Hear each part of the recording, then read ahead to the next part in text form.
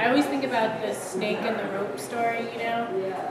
That Buddhist story, how the monk's like walking down the road and he sees what he thinks is a snake coiled up ahead and he like freaks out and gets super scared. And then as he keeps going, he's like, oh, it's just rope. Happy Mother's Day. It's a perfect day to talk about power inside of our bodies. Uh, mothers are a perfect example of the crazy, latent power of creation that exists inside of our flesh. You know, we all kind of learn about birth in what, what is it, like seventh grade when you see that Secrets of Life movie where they show the fetus like suspended in there and they're like, the secret of birth. But it's, it's crazy. How many guys have witnessed a birth? That's it? Oh, okay, so that's better. But still not a lot, huh? I always like to tell everybody, you know, when I got pregnant, I was like, oh my God, what's gonna happen? I don't know. and I realized that I had never seen a baby. I didn't know how this was gonna happen. And there was some fear, let me tell you, towards the end of like how this was gonna come out of my body because um, you're not really like taught about that anywhere and it's very awkward and sort of taboo and you just kind of know from soap operas or dramas that it looks very painful. Um, but in fact your body makes another person inside of there. Right? That's what really happens. And for me I never felt more animal uh, when I was pregnant and then breastfeeding. My body then, after performing this feat of getting a human being out of there, was able to nourish and feed this human being with food that it made from my flesh, from my body. It just made some food. Uh, and I don't know that you can really describe what that feeling is like unless you've kind of done it. Uh, but it's really weird and marvelous and amazing. And we all kind of like hang out in our bodies and we don't think about them very much unless what, like something bad happens. That, that's when we'll usually like kind of be like, oh yeah, my body. I'm in this thing that has to like do stuff so it can go. Or, you know, when we're like eating, we'll think about it sometimes because we have to think like, what can I do to get more stuff in there? right? Or, you know, like having sex, they'll think about it because it's good or bad, as the case may be. Um, hopefully more good than bad. Um, but those tend to be like the times when uh, we take our bodies into consideration. Um, and a lot of the esoteric disciplines try to investigate, you know, what are, uh, what are these suits that we're walking around in really capable of doing? Kind of what, are, what is all the stuff that's hidden in? Because if you guys have ever done something with your body that was completely crazy, you know what I'm talking about. Have any of you guys had anything physically happen to you that was completely nuts? Yeah. Yeah, so not that many people. Like what? you know what I'm talking about. If you had something crazy that doesn't usually occur, take your complete body over and then like happen to you. You know what I'm talking about? Like birth. Or maybe you died. Or maybe you got electrically shocked. Yes. Anybody get electrocuted? Yeah, probably a lot. you know? Yeah, so that feeling of electrocution is a good example, right? Suddenly, there's something happening that isn't usually happening and it releases some things that may be going on in there, right? So a big focus of the lecture today is how do we get power and even energy uh, from our flesh that can be contained in this kind of potentiality, how can we get access to it? How can we express it? What is hidden, unraveled in this business in here? You know? Do you guys know, like, what even like in one in a cell of your body? Have, are you guys most of you familiar with like cells, right? You got like the nucleus, and you got like all this goo around it. And then you kind of got like the cell wall, right? But what, do you guys know what's contained in there? Like in your DNA? So much information going into prehistory. Just like coiled up inside of every single cell inside of your body, right? Potentially, latently, just in yourself all the time, right? And I like to think about releasing potential in a couple ways. Uh, I mean, orgasm is like the easiest way for most people to think about, right? That's not something that happens to you all the time, I hope, right? it's something that is not your normal state, but it's hanging out in there as a possibility. You could possibly have that happen to you, right? And a huge amount of energy is released as a result. But usually it's just kind of contained in there, not really doing anything. Unless it gets this catalyst to kind of light the fuse and then the bomb goes off, right? So it's like a secret bomb that hangs out in there waiting to get the fuse lit, right? Another good uh, example to me of that kind of potential energy that gets released is disease, right? How about like a rash? You don't usually have a rash all over your skin, I hope, right? But if there's some kind of heat that forms within your body through an imbalance, that's going to light the fuse and the rash bomb is going to go off, right? All of a sudden now, you got all this rash energy just took over. Potential energy that just got expressed, right? A sneeze, another good example, right? You, you guys know how fast your sneeze is? This is ridiculous. 100 miles an hour. 100 miles an hour is the average force of a sneeze. You guys can't even run that fast. Your sneeze can run faster than you can. Right? So your body contains the potential energy to project something out of it at 100 miles an hour. That's like a gun practically, right? It's like your sneeze could be like a gun, like a projectile, right? And sometimes it is if you hit someone with it, right? But that's an action that your muscles can do. And have you guys ever like felt a sneeze and tried to stop it? Yeah, sometimes you can. But sometimes your whole business just is like completely overtaken and there's no stopping it. It's just gonna go. There's nothing you can do to stop that 100 mile an hour missile from coming out of your body, right? It just overtakes you completely. So those kinds of potential energies are, you know, not so crazy. They're kind of things we're familiar with. They happen all the time.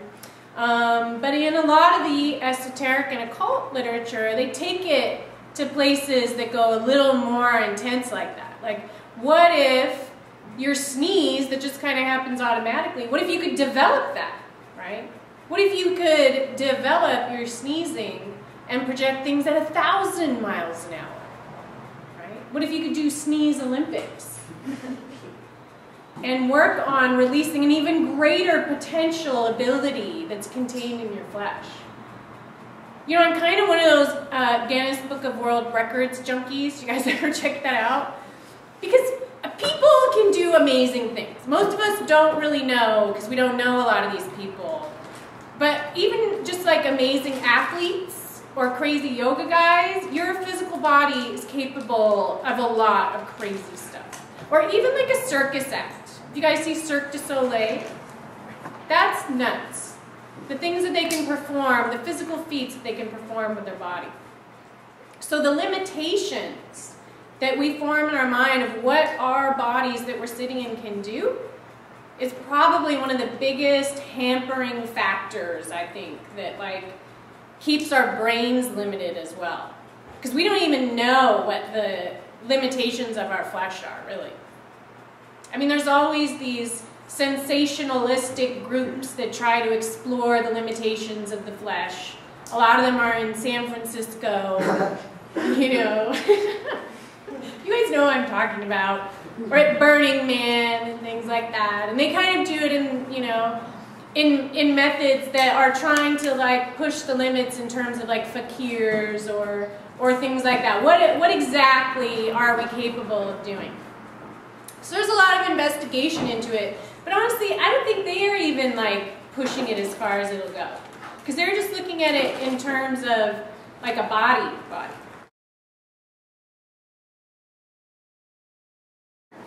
One of the things that happens a lot is there's like chemists and physicists, right? And they take all these chemicals and kind of physical laws and they say that they're true for atoms and planets, but then they're not true for biological organisms. You know what I'm talking about? Where there's like atomic physicists and they'll see that atoms behave in a particular fashion. And then they'll say that they don't behave in that way in biological organisms. Does that sound weird? Is there like a jacket that they put on once they get involved in biological organisms?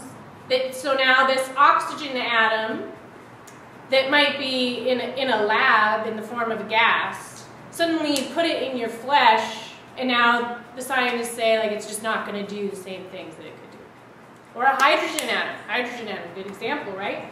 Do you guys know how many hydrogen atoms your body contains? Millions and billions of hydrogen atoms, right? Do you guys know what makes hydrogen bombs? Hydrogen atoms. Hydrogen atoms, right? So I think that a big rift in the world is that we separate scientifically uh, the capacity for planets and atoms from our biological organisms. And that's people, animals, plants, the earth, you know, you name it. Any biological system, we want to try, this, listen, this is my, you guys want to I can get on my soapbox for a second. But the only way we're going to get to unification theory, where like it's the same rules apply to planets and atoms, is if bodies are in there too. Right? Because those things are operating within your physical structure as well. So we have to start like incorporating some of these ideas into our bodies. So it's important and a good time, I think, with a lot of the repercussions from Fukushima to really talk a little bit about nuclear energy and radioactivity. You guys, have any, has anyone been following the repercussions of Fukushima? I know it was like in the news when it happened, and now there's like, oh, it was in the, in the water and the milk a little bit, and uh-oh, there's like some weird cow things happening, and then, and then you have to go to like the blogs to get more information. Has anyone been reading about what's been happening? Still leaking, right? It is. It's continuing to leak. And the tests that they've been doing on the oceans are pretty grim, you guys. You guys are eating seafood? Don't do that. Don't eat fish right now, full of radiation. But so I think it's important to know, you know, what nuclear fusion and nuclear fission is. So the first kind of way, this is pretty cool, the first way we found out about nuclear radiation was with phosphorescence. You guys know what phosphorescence is? It's things that glow, right? Like glow in the dark, glow sticks, and, and stuff like that. Everybody has those at raves. You guys know you go to raves mm-hmm. and you get those like little things that glow in the dark. That was how we first discovered radiation. And after that, Ernest Rutherford uh, found out that there was radiation in atomic particles, right? But he didn't release his findings right away because he thought all the scientists were going to make fun of him for being an alchemist, right? So he kind of kept it hidden because he was like, this is too weird. Everyone's going to think I'm crazy. That stuff is emitting off of these atomic particles. And the truth is, is that atomic nuclear activity is alchemy, right? It's alchemy. Do you guys know what one of the main things that happens in alchemy is? One of my favorite words, transmutation. Transmutation. Okay? Alchemy, everybody knows, is like, oh, the wizard turns the lead into gold. Right? How does that happen? Any guesses? yeah. Nuclear atomic transmutation. Okay, so if you have hydrogen, we'll take hydrogen and helium, okay? Those two guys can like go back and forth and change into each other. And what you do is you have to change the number of protons or neutrons in the nucleus of the atom by either taking them away or putting them in there. This is all, it's very simple, right? It's just addition, subtraction. Do you guys know what's the difference between lead and gold? One has more atomic particles, protons and neutrons. The other one has less atomic particles, protons and neutrons. So you put more into one and oh, there you got gold. You guys know you can make lead into gold in a particle accelerator? You just smush it together with other atoms and put mush a bunch of protons into it and then you get gold it's not super stable because they're kind of like, oh, I don't know about this. I was lead, so you gotta like stabilize it and stuff. And you guys know what happens when it's not stable? Those protons and neutrons and particles that you smush together to kind of make it be this thing, they're like, ah, I'm gonna leave. And then we get radiation. That's radiation, right? When they, when they take off and are tired of being part of that atom, right? It's really pretty simple. And nuclear fusion is when particles come together and get the smush. And fission is when they split apart and they take off. There is much more radiation when you split them apart. A huge amount of radiation when you take it and break it apart almost as much energy as is released when you break up with your boyfriend or girlfriend, right? Think about how much energy is released when you guys come together compared to how much is released when you guys come apart. It's a little similar, right? How many of you guys have felt like tremendous surges of energy after a breakup, right? Fission. It's just fission, right? So, and you guys know what fission is used for mostly? Making bombs. That's what nuclear weapons, like the majority of nuclear weapons, or nukes, as we call them, those are fission based. And the way that the explosion is generated and the energy is released is they go in there and they break up Brad and Angelina, right? And then the result is this tremendous force of a release of that energy that's stored in the nucleus. So this is, this is what's the most important thing to understand, you guys, about this whole lecture, is that the energy that you see released when that bomb explodes, that's on the inside of the atom the entire time it exists. All the time. That bomb is sitting in there, hiding, waiting for the fuse to get lit, right? Just like your rash, just like your orgasm, just like, you know, your sneeze. The explosive effect of the hydrogen bomb is contained in the nucleus of the darn thing for its entire existence. Okay, I know I'm saying this over and over, but to me, when you think about like how can that immense amount of energy be stored in something and just kind of hang out and not do anything?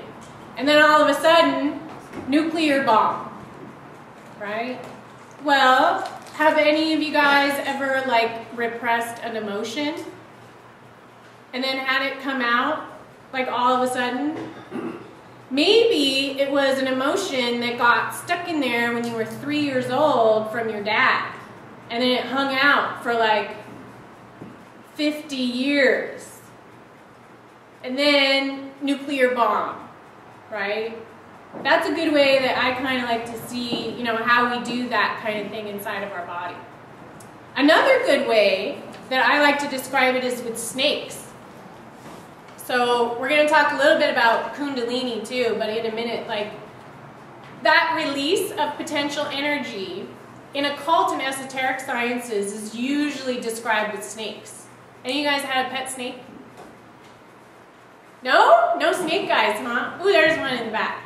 Okay, maybe I'm the only creepy snake person here, but um, when I was younger, I worked in this pet store, and in the basement, they had a 20-foot Burmese python.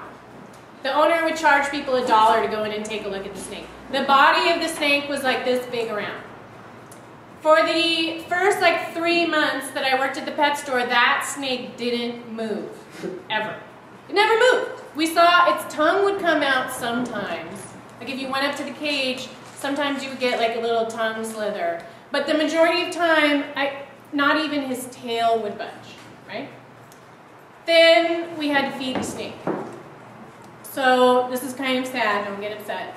Uh, but they got a rabbit, which was like this huge rabbit. It was like that big. And we had to put the rabbit in the room and then open the snake's door and then everyone like closed the door and looked through the window to like see what was going to happen.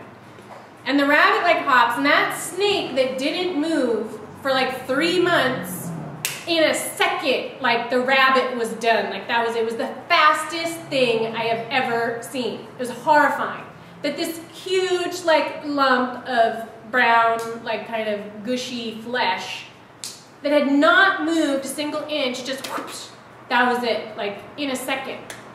So fast i couldn't even believe it right? So when you hear all these stories of like kundalini being that serpent kind of energy that's potentially stored but not moving that's what they're talking about. It's that like sit and not move for like months and then consume an entire rabbit in like one second. Can you guys imagine if you tried to not move for like two months and not eat? I don't even think it drank much water. Like maybe a tiny bit. And then it would have a rabbit, and then it would be good for like another three months. And that was it, right? Can you guys imagine like you doing that? That's that kind of meditation that um, I think most of us can't really understand. Anything. And then all of a sudden, nuclear bomb. Right? Well, have any of you guys ever like repressed an emotion and then had it come out like all of a sudden? Maybe it was an emotion that got stuck in there when you were three years old from your dad. And then it hung out for like 50 years. And then nuclear bomb, right? That's a good way that I kind of like to see, you know, how we do that kind of thing inside of our body. Another good way that I like to describe it is with snakes. So we're going to talk a little bit about kundalini too, but in a minute, like that release of potential energy in occult and esoteric sciences is usually described with snakes. Any of you guys had a pet snake? No? No snake guys, huh? Ooh, there's one in the back. Okay, maybe I'm the only creepy snake person here, but um, when I was younger, I worked in this pet store, and in the basement, they had a 20-foot Burmese python. The owner would charge people a dollar to go in and take a look at the snake. The body of the snake was like this big around. For the first like three months that I worked at the pet store, that snake didn't move, ever. It never moved. We saw its tongue would come out sometimes. Like if you went up to the cage, sometimes you would get like a little tongue slither. But the majority of time, I, not even his tail would budge, right? Then we had to feed the snake. So this is kind of sad, don't get upset. Uh, but they got a rabbit, which was like this huge rabbit. It was like that big. And we had to put the rabbit in the room and then open the snake's door and then everyone like closed the door and looked through the window to like see what was going to happen. And the rabbit like hops and that snake that didn't move for like three months in a second, like the rabbit was done. Like that was, it was the fastest thing I have ever seen. It was horrifying. That this huge like lump of brown, like kind of gushy flesh that had not moved a single inch, just whoosh, that was it, like in a second. So fast, I couldn't even believe it. Right? So when you hear all these stories of like Kundalini being that serpent kind of energy that's potentially stored but not moving, that's what they're talking about. It's that like sit and not move for like months and then consume an entire rabbit in like one second. Can you guys imagine if you tried to not move for like two months and not eat I don't even think it drank much water. Like maybe a tiny bit. And then it would have a rabbit. And then it would be good for like another three months. And that was it. Right? Can you guys imagine like you doing that? That's that kind of meditation that um, I think most of us can't really understand. Um, so I was doing a little research about possibilities for nuclear expression in nature and the animal kingdom and stuff like this, right? Because my, my whole deal is like, well, if it can happen in, in nature, then we can probably get a little closer to seeing like what can happen inside of our own bodies, right? So as I mentioned, one of the kind of first things with uh, that concept of radiation or nuclear activity is light, because we discover it through phosphorescent, right? Luminescence. And you guys know what light is, right? Light is, everybody knows, right? No? Nobody knows? All these simple things are so complicated, right? Light is a form of energy. It's a form of energy. Oh, energy. What's that? Now that's getting tricky right? We're going to talk a little bit about that. But first, just accept light as energy, right? Energy gets expressed in a few ways. You can have it come off as light. You can have it come off as heat, right? It can come out in different ways, right? So light is one of those. So have, did you guys ever see those rainbow jellyfish? They make rainbows in their body. The cuttlefish are another just totally crazy ones, but there was those jellyfish that have rainbow lights that go around the outside. They had them at the Monterey Aquarium for a long time. I think they had them at the Long Beach one for a little while. Did you guys see these things? They're these clear, transparent jellyfish that have moving rainbows that go around the outside of their body. That's self-produced within their flesh, right? to me, those are like the supreme ultimo, like unicorns of the world that can just make rainbows come out of the flesh of their body. You know? We all kind of get familiar with bioluminescence when we're kids uh, with like fireflies. Didn't you guys see fireflies when you're little? I know a lot of them are like in, in the Midwest or like out east. They're so beautiful. They make light inside their body. Do you guys know how they do that? That's like, I'm always like, what, how? Wait a minute. what? It's a chemical reaction usually. Bioluminescence is a chemical reaction that occurs when two chemicals get into contact with each other and then they glow, right? It makes a energy release and that energy comes out in the form of light. Right? So it's just chemicals coming. There's not even any fancy, like, you have to heat it up in a lab or put it in some hermetic vessel. No. It's just like a girl meets a boy and then light. Right? It's just like that. Certain chemicals that come together and the energy that they make gets released as light. Do you guys know? We've talked about this in my like spontaneous combustion lecture, and I always like to remind people that you know that you could die by turning into a rainbow. Um, strokes in the Tibetan literature. It's called the Jandro body. Uh, remember that. You don't have to go out by cancer, you can go rainbow. Um, so we, we emit a certain amount of light. You guys do. All you guys do. They did a study in Japan, and this is very fascinating to me, trying to trace the amount of photons released from people. And it's so weird. You guys know that biophoton, this is what it's called, biophoton studies, do you know where they're studying it? Not in America. There's no funding for biophotons in America, sorry.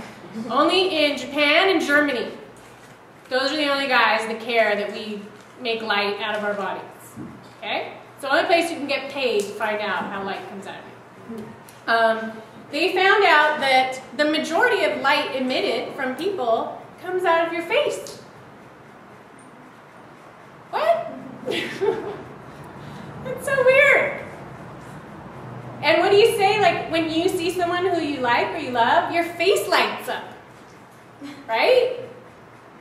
That's actually what they say. And they did, if you Google, like, biophoton human face light, it'll come up, the article I was reading, and they show these, like, ultra red pictures of the people, and everything's, like, blue and kind of whatever. And then they would show them, like, their friends and stuff, and it was all, like, white around their face, and then, like, red and orange, and it would kind of, like, cool down everywhere else. But the majority of light is, gets emitted from your face. And esoterically, that's crazy, because one of the things uh, that I mentioned in my research in my book, um, there's this part about Moses. You guys know when Moses goes to get the Torah? You know, when Moses goes to get the Torah, he gets to go to heaven without dying. He doesn't have to die, but he gets to go up to heaven. He doesn't get to see God because you can't do that. That's off limits. But he goes up and the angels confer the Torah upon him. And you guys know what they say happened when he got the Torah? His, his face lit up. His face turned to light. Weird. Huh? And you guys know how they describe angels when you see them? Uh, does anybody watch that Supernatural show? I know it's really dorky, sorry, but I like it. Um, they have angels on there, and when the angel shows his true face, you can't look because it's light. It's all light. The angel face is light, and that's all it is, right? So, how weird that we're putting off light in our faces, which is a form of radioactivity and energy, potential energy that's stored inside the atoms that our cells are made of that comes out. And I just had to talk about this little guy too as I was reading the bioluminescent article. Do you guys know there's a squid called the bobtail squid, which is cute anyway. And there are these really cute little squids you guys know a lot of octopuses will release ink to like make a diversion and then they scoot away? Okay, so the bobtail squid, do you know what they do? They release a chunk of light. And that's how they make their getaway. They have a bioluminescent chemical reaction that is like their uh, getaway scheme. They just like poop out this big light package and then they take off. I just thought that was a good story I wanted to put in there. Then, so the other crazy light activity that happens in your body happens in every single cell.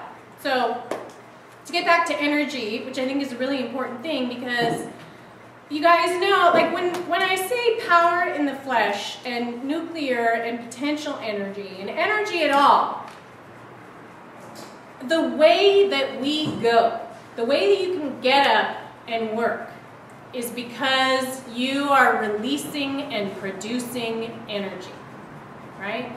We are like these walking furnaces that are just cruising around, letting off heat and light. Do you guys know? A lot of us think that happens because we eat food. Okay, how does eating food get turned into energy? How does breathing air and oxygen get turned into energy? You guys know this? It's a little biochemistry. You guys ready? ATP! Nerds, nerds. There is one molecule that does it. There's only one molecule in all living organisms that makes energy for us to live, to go. It's called adenosine triphosphate, or ATP. And that is converted in every single cell you have. Every single one gets that energy, but it's not in your cell, really. It's in these weird little aliens that are inside your cell called mitochondria. Some guys have heard of mitochondria, maybe. How many of you guys know about mitochondria? Okay, so good, like a few. A lot of people hear about it because of that mitochondrial DNA they've used to like track genes back to Lucy, you know. Mitochondria, these little aliens, they weren't always part of ourselves. According to the theory, they're kind of like these invaders that came in to organisms a long time ago. And the plant equivalent are the chloroplasts. They're these like uh, hijackers that just hang out in your cell. And you guys know the dry weight of your body, if you dried you all out and took out all the water and everything, 70% of it would be mitochondria. So you're mostly made of these aliens. And do you know that mitochondrial DNA is different than your DNA? You have two kinds of DNA. One is regular DNA, which is you, and then the other is mitochondrial DNA, which are these aliens. yeah. Right? It's weird. And the place that the ATP happens is inside these little alien creatures. Without them, no go. You got no energy. Nothing would happen. You guys know how the energy is released from this ATP? Okay, it's basically like fission. Okay? It's like breaking up Brad and Angelina. The oxygen on the ATP is hanging on there, and there's this little like hammer if you look at the pictures, like if you go on YouTube, it's pretty hilarious. There's like a little hammer that goes boop, and then the oxygen goes like bam, and then the energy goes like pew, and a bomb is released, essentially. Okay? A little hammer goes and hits the oxygen and burns it, and energy goes. The only way that I'm like moving so vigorously and sound is emitting out of my life, out of my mouth, or my life also, is because little bombs are exploding with oxygen coming out of my ATP right now. You guys know how many these little, this little hammer is going like pew, pew, pew, pew, on the oxygen inside of my cells of my tongue right now and making it move. Like if you look at the muscle, the way your muscles move, there's little like hammer guys that go like and make the oxygen release and go and that's how you get movement. It's explosions. It's totally explosions happening one after the other. I can't believe they don't teach it that way in science school because it's so much more interesting. And that's exactly what's going on. And you guys know, like, what's the most kind of more, one of the more flammable things that there are? Oxygen. The air we breathe, we're like these burning furnaces, like taking in this fuel to fuel our little bombastic uh, productions that take up the entirety of our lives, right? And that, those bombs, in fact, are what also make us age and grow old. We get so many bombs going off that we get what they call free radicals. And free radicals are oxygen they have all the outer electrons stripped off of them because they've like been blown up and then they're like, oh, I'm totally naked. I need some guys, some clothes, my jacket. I gotta put on my jacket, right? So then they go to whatever is like around, like maybe on my eye wrinkle, and they take those electrons, make more eye wrinkles, and they're like, oh, I'm just gonna like snag those, right? Hydrogens, which are what make hydrogen bombs right? So that is happening in, to all of you in your flesh right now as you're sitting here. Little bombs going off, and they're snagging other electrons. And in the article I read that was talking about the bioluminescence, they said that what is responsible for the photons being emitted are free radicals getting released. Free radicals getting released. Bombs going off, essentially, right? We are radiating literally radiating. A little bit like Fukushima, although not quite that intense. That's the thing that I think a lot of people have trouble with too, is like, well, how can radiation be in biological organisms? Don't you die? Radiation makes you die, right? Well, like I said, it that's what's responsible for aging. But what about radiation in nature? How does that work? Well, you guys know what happens? Mutation, which is the last part of the word transmutation, right? Oh, now we're back to alchemy again. So this article I read, which has this crazy picture, which I just think we should pass around, they found out that they had buried these barrels of radioactive waste down at the bottom of the sea because they do that, you know. That's what they do. They take the barrels of it and they put it under sea. Can you guys see like this little spider webby thing? Something started to grow out of it. That is a life form that they don't know what it is, but it's biological in nature.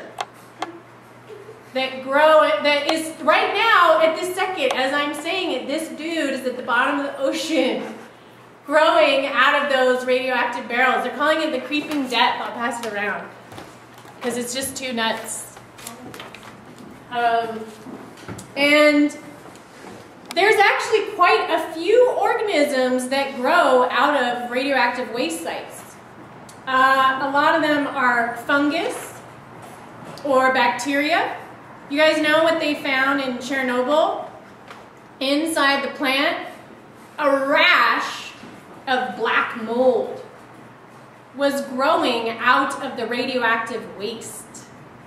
And not only that, it was thriving. It was eating the radioactive waste and consuming it and transforming it into food so it could make more bombs and go. It was actually using the waste from the bombs to, as fuel for its own bombs inside of its body. Are you guys impressed by that? it's pretty impressive. So not only was there this black mold growing there, but then they also found several species of bacteria that can grow out of radioactive waste. And thankfully, there were some smarty pants people that figured out, oh wait, there's stuff that can eat radioactive waste. Maybe we should put it on our radioactive waste so we can eat it and transform it, right? So that's one of the things they're starting to do. And I know those are just bacteria and fungi, but you guys know it can happen in organisms that are bigger than bacteria and fungus. Do you guys know what else is happening in Chernobyl? This is just so crazy and Princess Mononoke. But there are radioactive boars that are taking over Germany. Oh. Yeah, that are coming from the Chernobyl site.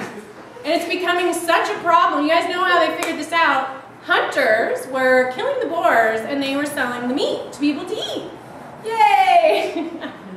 karma, karma, karma. Um, and these boars were actually uh, reproducing at rates that were beyond what normal boars would do.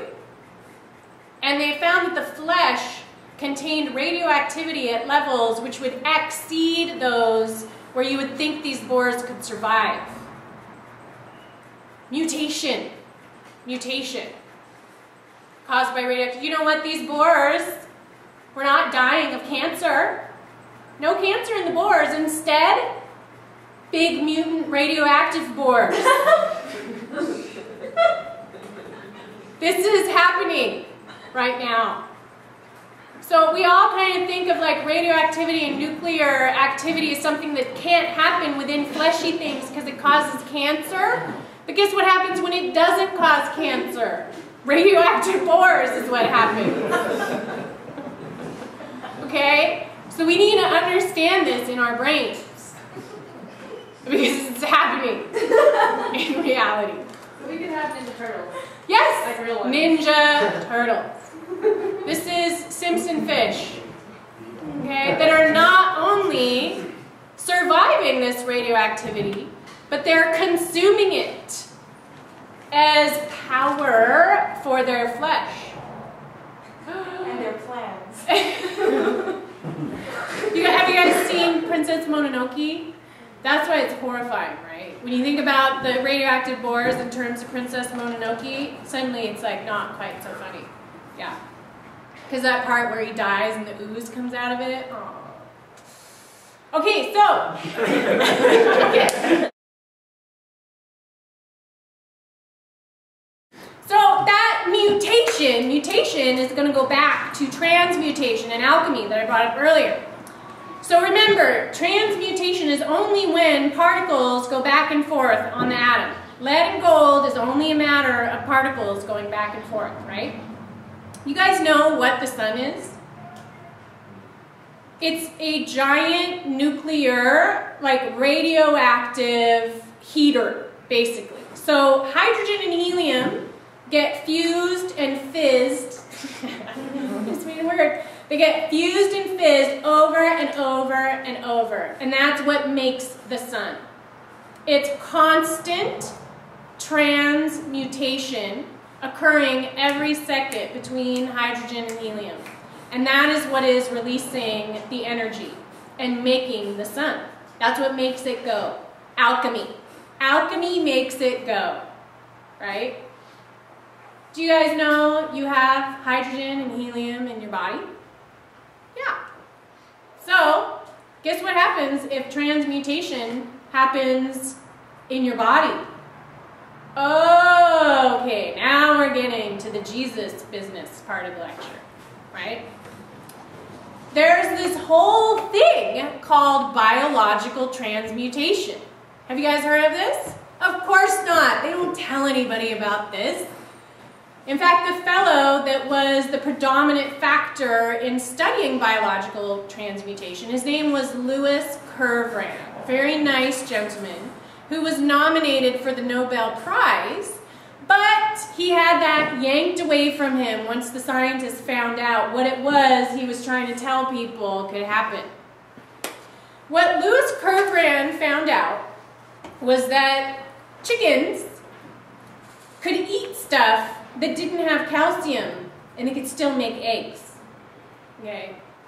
For philosophers, maybe you just kind of like had a heart attack because that's like, or mathematicians even have problems with this too. Because how can you make calcium when there's no calcium going into your body? Okay, so he thought, all right, well, let's just see how far can we take this. So he bought himself some chickens and he fed them no calcium at all. It's very, it's science, you guys, scientific, okay? No calcium entered the chicken mouth. And yet, the eggs continued to come out.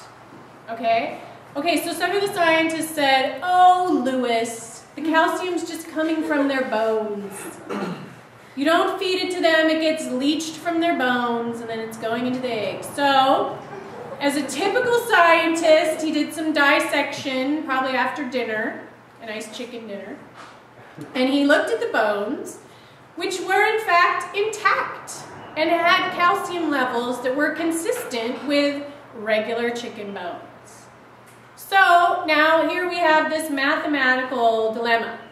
Where is this calcium that the chicken is making the egg with? I mean, this is like the whole which came first, the chicken or the egg thing. Now it becomes suddenly very fascinating because you can't make a bunch of eggs. You guys know why? Do you guys know what eggshells are made out of? Calcium. Calcium. Okay? So how are you having a bunch of eggshells come out of something that has no calcium going into it? Big problem. Wizard stuff starts to happen now. Okay, you know what he figured out? Transmutation is occurring inside the bodies of these chickens to make calcium out of stuff like oxygen, hydrogen, silicon, carbon, that's rearranging atomic particles to make calcium within the body. But wait, that's crazy, right? Okay, most scientists say this is impossible because in order to have nuclear fusion or nuclear fission to happen, do you guys know what has to happen? You need a lot of heat and pressure, right? Kind of like if you're going to try to make a diamond, right? You have to heat it up and pressurize it, and that's what makes the bomb go. That's what makes the sun happen. There's an awful lot of heat and pressure happening.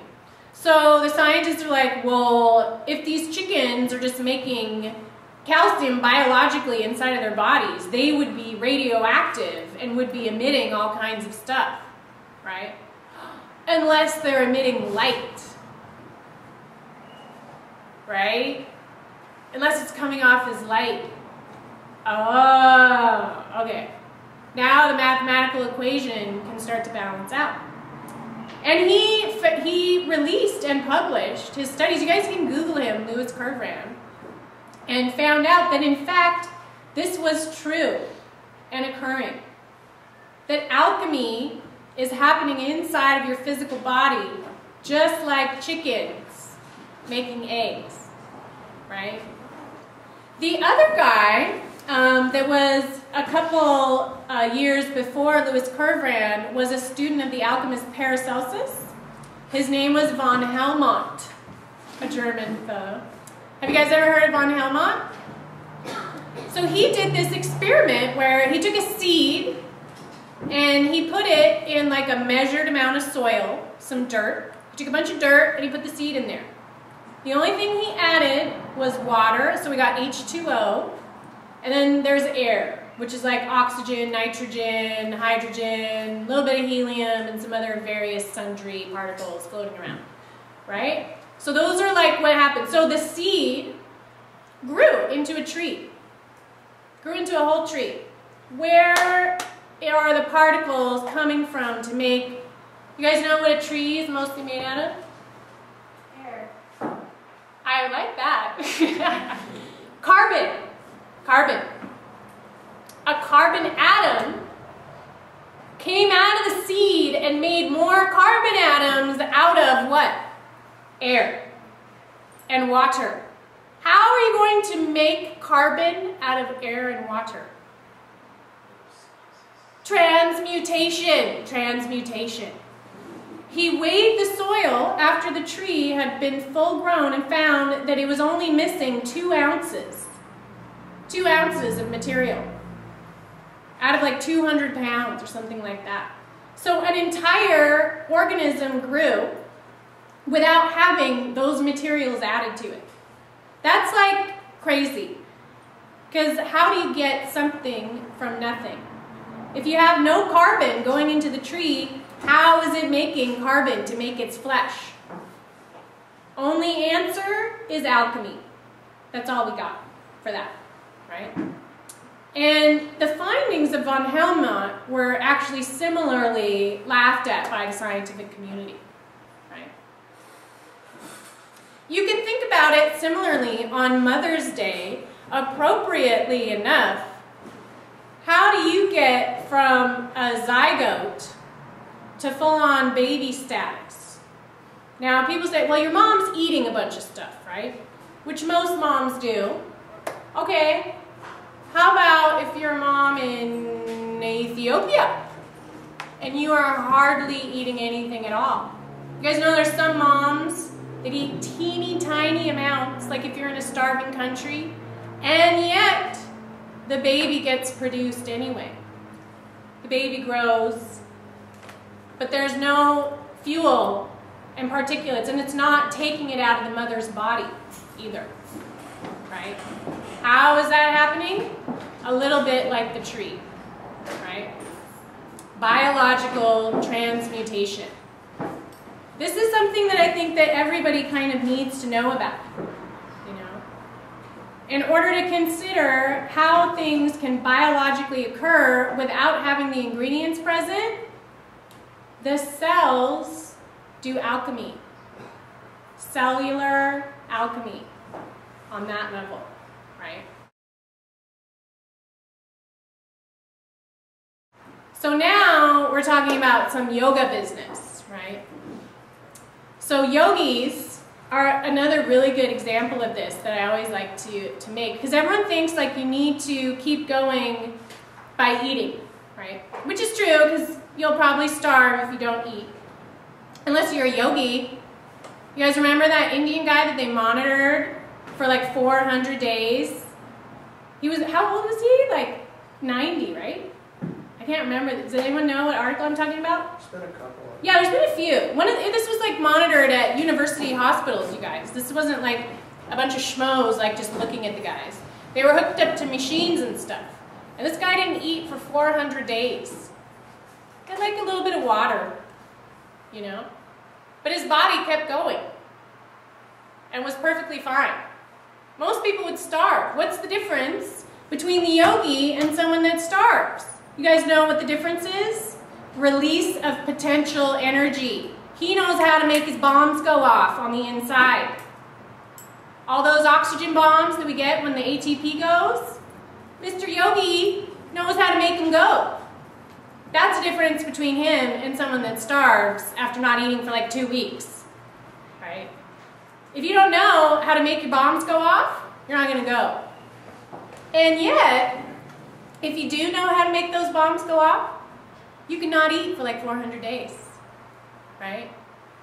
Because the potential, all those sneezes, he's using them for fuel, to fuel his body, right? Those potential orgasms or rashes, instead of having them come out in this uncontrollable manner, the yogi is employing techniques in order to get them to go, right?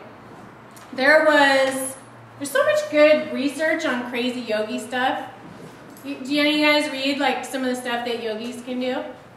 It's pretty good. Um, there's this one study, it was published in 1958 by two Indian researchers named, this is going to be really hard to say, I'm sorry. Uh, Satyanarayana Murthy and BP Shastri. That's an easier one to Google. If you guys Google BP Shastri, it'll come up. They did studies on a yogi who could stop his heart from beating detectably. So you couldn't detect his heartbeat. It was so slow. It was like snake style, where it went to so not moving and so slow that the EKG or EEG, which one's the heart? The EKG? Yeah. Oh yeah, cardio. Uh, so you couldn't, the, it couldn't pick it up. He went totally snaky. There was another guy in this study. This is so good. He could move food back and forth in his small intestine. You'd be like, oh, we're going to scoot it over here. Okay, now to the left. We'll just move it over there. Okay, so you guys know what that means is he had conscious control over unconscious bodily activities, right? They always say like your small intestines, that's an unconscious motor system that goes from your nerves without you having to think, okay, small intestine, move that food along and digest that food. Not like you go like, I wanna, I wanna reach out and touch you. That's like a conscious motor system, right? But your small intestines just go. You don't have to tell them what to do. But he had body consciousness and was able to scooch his food around in there. Right? So you get body consciousness and you can release the atomic bombs and your oxygen that's waiting to be utilized as energy. You can make the little hammer drop and go. Right? Without having to ingest and consume all this stuff because it's already contained there within your flesh. And to me, the implications of that really is like we put so much uh, reliance upon outer things to make us be able to go and do stuff. We are so reliant on outside sources for our abilities to do things. Like, okay, even how I started having a baby. Most women are like, I can't have a baby. I have to go have a C-section and just have the doctor pull it out. Right? We are so far removed from our own abilities to control and experience what's happening in our bodies that we just think we have no control over it whatsoever. Right? But who are these stories of people that are enlightened, that are yogis, that are the Jesuses, that are the Buddhas? These are people who have control over the bombs that are inside of them. Right? They're the ones that are emitting the radiation, that are emitting the light consciously, right? Consciously putting light out. Instead of just having their face light up when they see people that they like, like the studies in Japan, they're lighting their face up always through conscious attention, right? So this is, I'm going to give you guys some homework. Are you guys ready? I want you guys to think about lighting up your face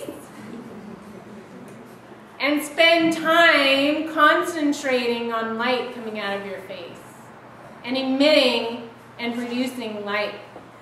Because you guys, how are these messiahs and enlightened people depicted in art? They got halos that are painted gold like light. They're making light come out. They are suns. They're transmutators. What was the thing that Jesus could do? He could transmutate water into wine. He could make stuff out of nothing. He could make fish and bread come out of nothing. Just like a tree coming out of a seed. Just like an egg coming out of a chicken. Got no calcium? No problem, I'll make you some fish. Transmutation, alchemy, sunshine right? He's controlling his sun and his ability to produce that from his own physical form. That's what like bombs inside of us are. That's alchemy doesn't have to happen in the head of a nuclear missile, right? It's actually occurring in every cell inside your body. If something can happen in the head of a nuclear missile, I promise you it can happen inside of your body. Anything that can happen anywhere can happen inside of your body. Because you know what? It's made of the same stuff that's happening out there. It's not made out of some alien material. It's the same atoms are involved in both places, right? So I want everyone to spend at least five or ten minutes thinking about light coming out of their faces. And do some experiments. Try and like project it on people. See what happens. Okay, so practice thinking about light coming out of your face. And then the next time you see someone, just kind of go, and see what their reaction is. See what they do, I want to know. Because maybe they'll go like, oh, wow, you're like glowing. Has anyone ever told you guys you're glowing? You know when people say you're glowing? When you're pregnant. Ah, so good, right? so good. So try and make a pregnant glow by making bombs go off inside your face. Okay? I want a full report. Thanks, you guys. That's all I have today.